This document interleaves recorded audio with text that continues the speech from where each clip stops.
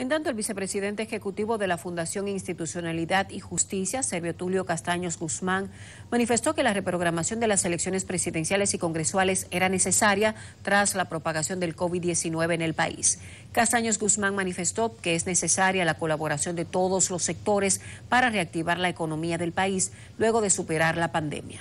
No debe haber más demora para que en el Estado y la sociedad aúnen esfuerzo para dialogar sin cortapisas y adoptar un plan nacional. En otro orden, el vicepresidente ejecutivo de Finjus felicitó a todos los sectores que han colaborado durante el estado de emergencia en el país para prevenir más casos de coronavirus.